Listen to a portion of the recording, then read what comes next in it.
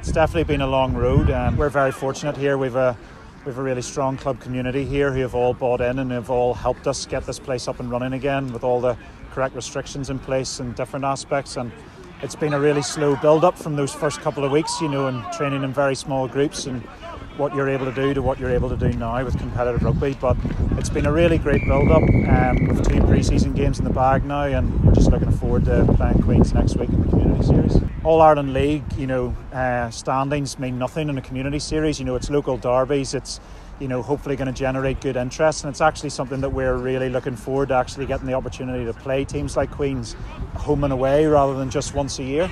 So we've just been focusing on ourselves and what we can try and do this year and see where we can try and go. But uh, it's exciting and it's going to be challenging, that's for sure.